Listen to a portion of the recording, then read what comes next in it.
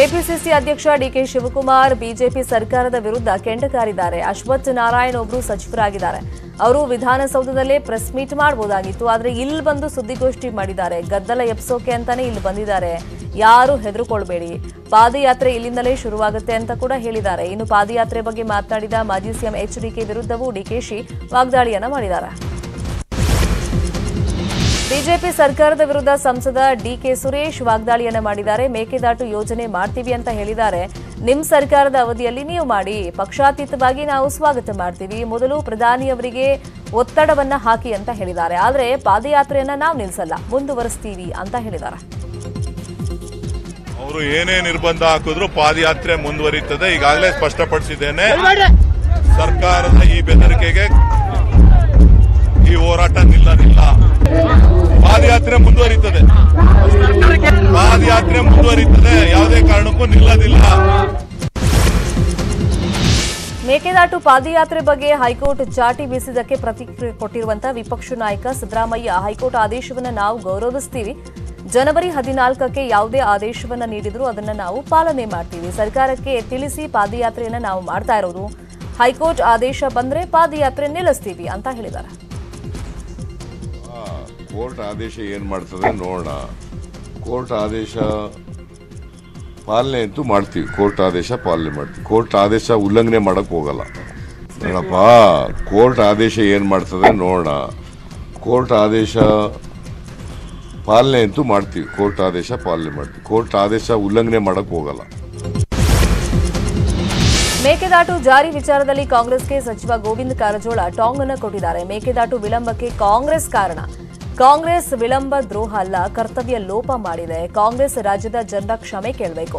Siddaramaiah CM ಆಗಿದ್ದಾಗ ಮೇಕೆದಾಟು ಯೋಜನೆ ಬಗ್ಗೆ ದಾಖಲೆ ಕೂಡ ಬಿಡುಗಡೆ ಮಾಡಿದ್ದೀನಿ. ಎರಡು ಸಾವಿರದ ಹದಿನಾಲ್ಕರಲ್ಲಿ ಸಿಎಂ ಅನುಮೋದನೆ ಆದಾಗಲೇ ಜಾರಿ ಮಾಡಬೇಕಾಗಿತ್ತು. ಯಾಕೆ ಮಾಡಲಿಲ್ಲ? ಎಂಬಿ ಪಾಟೀಲ್ ಎಲ್ಲವನ್ನು ಬಿಟ್ಟು ಹರಿಕತೆ ಪುರಾಣ ಮಾಡ್ತಾ ಇದ್ದಾರೆ ಅಂತ ಕಾರಜೋಳ ಕಿಡಿಕಾರಿದ್ದಾರೆ. ಹರಿಕತೆ ಭಟ್ರ ಪುರಾಣ ಕೇಳಲಿಕ್ಕೆ ಯಾರೂ ತಯಾರಿಲ್ಲ.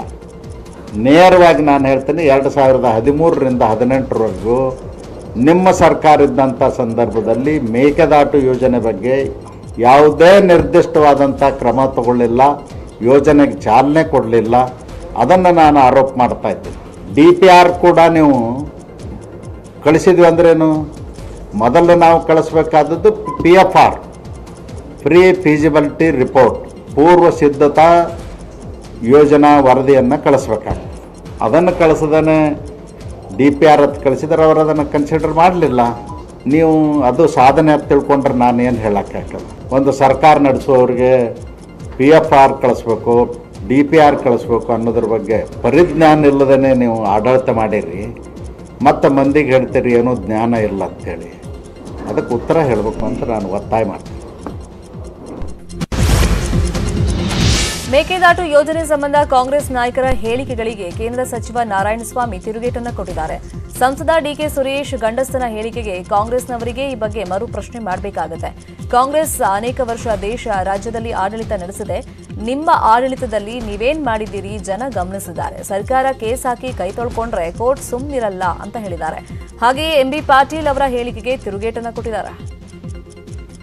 ಗಂಡಿಸ್ತಾನನ ಇಲ್ಲ ಅನ್ನೋದನ್ನ ಕಾಂಗ್ರೆಸ್ನವನ್ನ ಕೇಳಬೇಕಾಗಿ ಬರ್ತದೆ. ಅವರು ಅನೇಕ ವರ್ಷಗಳ ಕಾಲ ಈ ದೇಶವನ್ನು ಆಳಿದ್ದಾರೆ. ಈ ಎಲ್ಲ ಸಮಸ್ಯೆಗಳಿಗೆ ಕಾಂಗ್ರೆಸ್ಸು ಅರವತ್ತು ವರ್ಷ ಈ ದೇಶದಲ್ಲಿ ರಾಜ್ಯವನ್ನು ಆಡಳಿತ ಮಾಡಿದ್ದು, ದೇಶವನ್ನು, ರಾಜ್ಯದಲ್ಲಿ ಆಡಳಿತ ಮಾಡಿತ್ತು ಆ ಬಗ್ಗೆ ಗೌರವಯುತವಾಗಿ ಚರ್ಚೆಗಳು ಮಾಡೋದು ಸೂಕ್ತ ಅಂತ ಡಿ ಕೆ ಶಿವಕುಮಾರ್ ಹೇಳೋದು ಇಸ್ಕೊಳ್ತಾರೆ ಗಂಡಸ್ಥಾನ ಮತ್ತೊಂದು ಮತ್ತೊಂದು ಚರ್ಚೆಗಳು ಅವಶ್ಯಕತೆ ಇಲ್ಲ. ಆಡಳಿತವನ್ನು ಯಾವ ರೀತಿ ದಿಕ್ಕಿಗೆ ಕೊಂಡೊಯ್ಬೇಕನ್ನೋದನ್ನು ಪ್ರಜ್ಞಾವಂತ ಸಮಾಜ ನೋಡ್ತಾ ಇರ್ತದೆ. ನೀವು ಅಧಿಕಾರದಲ್ಲಿ ಏನು ಮಾಡಿದ್ರಿ? ಕಡತ ಎಲ್ಲಿ ಹೋಗಿತ್ತು? ಯಾವಾಗ ಟಿ ಪಿ ಆರ್ ಮಾಡಿದ್ರಿ? ಯಾವಾಗ ಅನುಮತಿ ಬಂತು? ಮತ್ತು ನಿಮ್ಮದೇ ಕೇಂದ್ರ ಸರ್ಕಾರದಲ್ಲಿ ಕೇಂದ್ರದಲ್ಲಿ ಅಧಿಕಾರ ಇದ್ದಾಗ ತಮಿಳ್ನಾಡವರು ನಿಮ್ಮ ಜೊತೆಯಲ್ಲಿ ಇದ್ದರು ಕರ್ನಾಟಕ ನಿಮ್ಮದೇ ಸರ್ಕಾರ ಇತ್ತು. ಯಾಕೆ ಆವತ್ತು ಅನುಮತಿ ಪಡೆಯೋಕ್ಕಾಗಲ್ಲ ಅಂತ ಜನ ಬೀದರ್ ಮಾರುಕಟ್ಟೆಯಲ್ಲಿ ಜನರು ಖರೀದಿಗೆ ಮುಗಿ ಬೀಳ್ತಾ ಇದ್ದಾರೆ. ಕೋವಿಡ್ ಸೋಂಕಿನ ಭಯ ಇಲ್ಲದೆ ಮಾಸ್ಕ್ ಹಾಕೊಳ್ಳದೆ ಸಾಮಾಜಿಕ ಅಂತರ ಪಾಲಿಸದೆ ಸಂಕ್ರಾಂತಿ ಹಬ್ಬದ ಖರೀದಿಯಲ್ಲಿ ಬ್ಯುಸಿಯಾಗ್ಬಿಟ್ಟಿದ್ದಾರೆ. ಬೀದರ್ ನಗರದ ಬಸವೇಶ್ವರ ಸರ್ಕಲ್ ಬಳಿ ಇರುವಂತಹ ತರಕಾರಿ ಮಾರುಕಟ್ಟೆಯಲ್ಲಿ ಹೇಳೋರಿಲ್ಲ, ಕೇಳೋರಿಲ್ಲ. ಮಂಡ್ಯ ಜಿಲ್ಲೆಯ ತಹಶೀಲ್ದಾರ್ಗಳಿಗೆ ಕೊರೋನಾ ಸೋಂಕು ಕಾಡ್ತಾ ಇದೆ. ಮಂಡ್ಯ ಮದೂರು ಶ್ರೀರಂಗಪಟ್ಟಣ ತಾಲೂಕಿನ ತಹಶೀಲ್ದಾರ್ಗಳಿಗೆ ಕೊರೋನಾ ಸೋಂಕು ಕಾಣಿಸಿಕೊಂಡಿದೆ. ಮಂಡ್ಯದ ಚಂದ್ರಶೇಖರ್ ಶ್ರೀರಂಗಪಟ್ಟಣದ ಶ್ವೇತಾ ರವೀಂದ್ರ ಮದ್ದೂರಿನ ನರಸಿಂಹಮೂರ್ತಿಗೆ ಕೊರೋನಾ ಕನ್ಫರ್ಮ್ ಆಗಿದೆ. ಐಸೋಲೇಷನ್ನಲ್ಲಿದ್ದಾರೆ. ಈಗ ತಾಲೂಕು ಕಚೇರಿ ಸಿಬ್ಬಂದಿಗೂ ಕೊರೋನಾ ಆತಂಕ ಶುರುವಾಗಿದೆ. ಉತ್ತರ ಕನ್ನಡ ಜಿಲ್ಲೆಯಲ್ಲಿ ಮತ್ಸ್ಯೋದ್ಯಮಕ್ಕೆ ಮತ್ತೆ ಲಾಕ್ಡೌನ್ ಭೀತಿ ಕಾಡ್ತಾ ಇದೆ. ಹೊರ ರಾಜ್ಯದಿಂದ ಮೀನುಗಾರಿಕೆಗಾಗಿ ಬಂದಿದ್ದ ಮೀನುಗಾರರು ಮತ್ತೆ ತಮ್ಮ ತಮ್ಮ ಊರಿನತ್ತ ವಲಸೆ ಹೋಗ್ತಾ ಇದ್ದಾರೆ. ಹೊರ ರಾಜ್ಯದ ಕಾರ್ಮಿಕರ ಕೊರತೆಯಿಂದ ಬೋಟ್ ಮಾಲೀಕರು ಕಂಗಾಲಾಗಿದ್ದಾರೆ. ಕಳೆದ ಜುಲೈ ತಿಂಗಳಲ್ಲಿ ಕಾರವಾರ ಸೇರಿ ಉತ್ತರ ಕನ್ನಡ ಜಿಲ್ಲೆಯ ಕರಾವಳಿಯತ್ತ ಆಗಮಿಸಿದ್ದ ಮೀನುಗಾರರು ಈಗ ಮತ್ತೆ ಲಾಕ್ಡೌನ್ ಭಯದಿಂದ ಒಡಿಶಾ, ಜಾರ್ಖಂಡ್, ಬಿಹಾರದತ್ತ ಮುಖ ಮಾಡಿದ್ದಾರೆ. ಎಲ್ಲಾ ಕಾರ್ಮಿಕರು ಊರುಗಳಿಗೆ ಹೊರಟ್ರೆ ಮತ್ತಷ್ಟು ಸಂಕಷ್ಟ ಎದುರಾಗಲಿದೆ. ಆದುದರಿಂದ ಈ ಕೊರೋನಾ ವೈರಸ್ ವ್ಯಾಪಿಸಿರುವುದರಿಂದ ಈ ಮೀನುಗಾರಿಕೆ ವೃತ್ತಿಗೆ ಕೊಳ್ಳಿಟ್ಟಂತ ಆಗಿದೆ. ಈ ಬಡ ಜನರು ಕೂಡ ಈ ಮೀನುಗಾರಿಕೆಯನ್ನು ಅವಲಂಬಿಸಿದ್ದರಿಂದ ಒಂದು ದಿನದ ಊಟಕ್ಕೂ ಕೂಡ ಅವರು ಕೊರತೆಯನ್ನು ಅನುಭವಿಸುತ್ತಿದ್ದಾರೆ. ತುಂಬಾ ಕಷ್ಟ ಆಗಿದೆ ಸರ್ ಈಗ ಈ ದಿನ- ಇತ್ತೀಚಿನ ದಿನಗಳಲ್ಲಿ. ಮೂರ್ನಾಲ್ಕು ತಿಂಗಳಾಯಿತು, ಈಗ ಮೀನುಗಾರಿಕಾ ಬೋಟ್ಗಳು ತೆರಳ ತೆರಳಲಿಲ್ಲ. ಹಾಗಾಗಿ ಈ ಮೀನುಗಾರಿಕಾ ಬೋಟ್ಗಳು ಇಲ್ಲೇ ನಿಂತುಕೊಂಡಿವೆ. ಪ್ರತಿ ವರ್ಷನೂ ಇದ್ದಿದ್ದೇ ತೊಂದರೆ ಸರ್. ಪ್ರತಿ ಒಂದು ಹತ್ತು ತಿಂಗಳ ಅವಧಿಯಲ್ಲಿ ಎರಡು ಅಥವಾ ಮೂರು ತಿಂಗಳ ಅಷ್ಟೇ ಅವಧಿ ನಡೀತೆ ಮೀನುಗಾರಿಕೆ ನಡೀತಾ ಇದೆ ಸರ್ ಈಗ. ಮೀನುಗಾರಿಕೆ ಸೀಸನ್ ಆಗಿದೆ ಸರ್ ಈಗ. ಇಲ್ಲಿಂದಾಗ ಆಗಸ್ಟಿಂದ ಮೇ ತನಕ ಮೀನುಗಾರಿಕೆ ನಡೀತಾ ಕಾಯಂ ಹತ್ತು ತಿಂಗಳು ನಡೀತಾ ಇತ್ತು ಸರ್. ಈ ಕೊರೋನಾ ಪ್ರಭಾವ ಬೀರುವುದರಿಂದ ಕೂಲಿ ಕಾರ್ಮಿಕರು ಇಲ್ಲದೆ, ಅವರು ಊರಿಗೆ ತೆರಳುವುದರಿಂದ ಮೀನುಗಾರಿಕಾ ಬೋಟ್ಗಳು ಇಲ್ಲೇ ನಿಲ್ಸ್ಕಿ ನಿಲ್ಸ್ಕೊಂಡು ಇಟ್ಟಿದ್ದಾರೆ ಸರ್. ಗೋವಾದಿಂದ ಕಾರವಾರಕ್ಕೆ ಬರೋದಕ್ಕೆ ಆರ್ಟಿಪಿಸಿಆರ್ ವರದಿ ಕಡ್ಡಾಯ ಮಾಡಿದ ಕಾರಣ ಗೋವಾ ರಾಜ್ಯದ ಜನರು ಏಕಾಏಕಿ ಪ್ರತಿಭಟನೆಯನ್ನ ಮಾಡಿದ್ದಾರೆ. ಕಾರವಾರ ಹಾಗೂ ಗೋವಾ ಗಡಿಯಲ್ಲಿರುವಂತಹ ಮಾಜಾಳಿ ಚೆಕ್ಪೋಸ್ಟ್ ಬಳಿಯಲ್ಲಿ ಪ್ರತಿಭಟನೆ ಮಾಡಿದ್ದಾರೆ. ಆರ್ಟಿಪಿಸಿಆರ್ ವರದಿ ಕಡ್ಡಾಯದಿಂದ ಗೋವಾ ಮತ್ತು ಕಾರವಾರದ ಜನರಿಗೆ ಸಮಸ್ಯೆ ಆಗ್ತಾ ಇದೆ. ಡಬಲ್ ಡೋಸ್ ಲಸಿಕೆ ಕಡ್ಡಾಯಗೊಳಿಸಿ ಆರ್ಟಿಪಿಸಿಆರ್ ನಿಯಮ ತೆಗಿಬೇಕು ಅಂತ ಆಗ್ರಹ ಮಾಡಿದ್ದಾರೆ.